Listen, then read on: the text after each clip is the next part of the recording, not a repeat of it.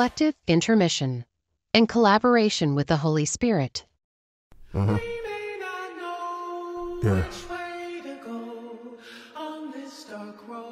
I didn't know how I was gonna go about this one, but Mr. Duckworth. I just had to let y'all know how I'm really feeling. Session 10 Breakthrough. Always wanted to go to heaven, but never bring heaven onto earth. Modern day Christianity to me is just as toxic as future last hit verse. Who who am I to talk when I'm the one that's shooting the DMs first? Asking, baby, what you doing at 9 p.m.? For sure, I'm quick to get the motion, but I'm even quicker to forget the potion. Yeah.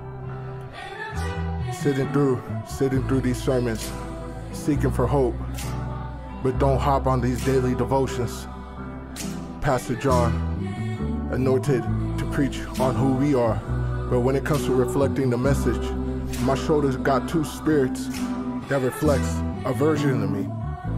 The left side of my shoulder shows a fleshly, evil spirit, seeking for smoke at last. The right side of my shoulder displays the Holy Ghost, the light of my path. You eager to keep the distance, looking through this mirror, you in the act of receiving depiction. Father, restore my soul, cause my flesh is falling back to certain addictions. When the vision is set and clear, all to do next is just simply execute and finish the mission.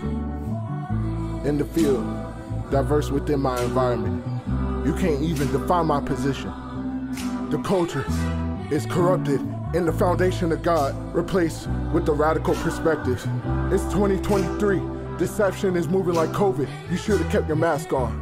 Organized chaos all over social media. And that's what we promote in the United States. The media nowadays kills the frequency of what keeps you going. Yes, I wrote this truth at church, submitting to the Lord because that's what keeps me going. Least God let you choose your own route in life. But the question remains the person you choose. Are you going to choose Jesus, our Lord and Savior, or keep this world and this toxic cycle going? The reflective animation. Animation.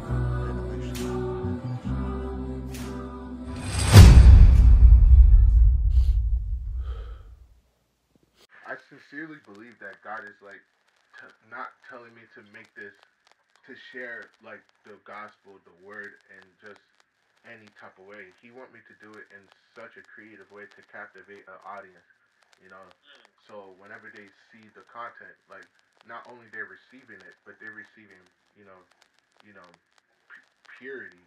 You know, they're receiving hope. They're receiving truth. They're receiving what what the world is trying to make them blind to because you know? I feel like I'm being called to like really just make something out of myself that that once people watch it they're gonna the only the only thing they're gonna know is like yo that was God used JP to make what he just created.